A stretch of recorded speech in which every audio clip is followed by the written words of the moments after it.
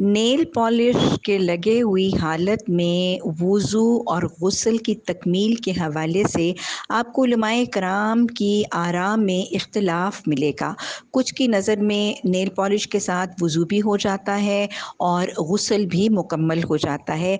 लेकिन आज के उलमा और फ़ुकहा की राय के मुकाबले में जब हदीस मुबारक का एक वाज वाक़ बुखारी में मौजूद है कि अल्लाह के रसूल सल्लल्लाहु अलैहि वसल्लम ने कुछ कुछ लोगों को वज़ू करते हुए देखा और जल्दबाजी में वज़ू करते हुए इस कैफियत में देखा कि उनकी एड़ियाँ खुश्क रह गईं। तो आपने फरमाया वैलाका बिमिनार के खुश्क एड़ियों से जहन्नुम की आग है। मतलब क्या था?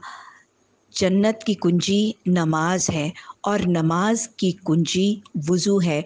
तो अगर वज़ू दुरुस्त नहीं और वज़ू के वो सारे आज़ाद जिनका तस्करा सूरा मायदा में वाज तौर पर अल्लाह सुबहाना ताली ने फ़रज़ वज़ू की शक्ल में बताया है तो उन चार फ़राइज़ वज़ू का अगर बाल बराबर इलाका भी तर ना हुआ और खुश्क रह गया तो वज़ू मुकम्मल नहीं होगा। और अगर वज़ू मुकम्मल ना हुआ तो नमाज़ मुकम्मल नहीं होगी।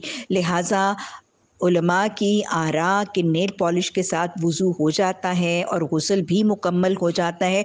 उसको देखने की बजाय नबी सल्लल्लाहु अलैहि वसल्लम की हयात तय्यबा के ये वाक़ात की तरफ़ नज़र रखना और नेल पॉलिश उतार कर वज़ू और गसल करने का अहतमाम करना ये लाजिम है।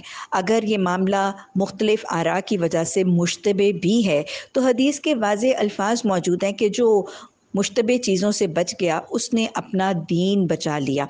तो लिहाजा वाज तौर पर यह ज़रूरी है कि नेल पॉलिश उतार कर ही वज़ू किया जाए और नेल पॉलिश उतार कर ही गसल किया जाए। रहा आपका सवाल कि अगर किसी की नेल पॉलिश लगी हुई थी तो क्या वज़ू और गसल हो जाएगा?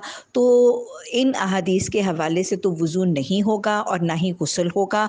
उस खातून के लिए बेहतर यही होगा कि वो अपनी नेल पॉलिश उतारे और पाकी और तहारत के गसल को दोहरा ले। और अगर वज़ू भी नेल पॉलिश में किया है तो नेल पॉलिश उतारने के बाद वज़ू मुकम्मल कर ले।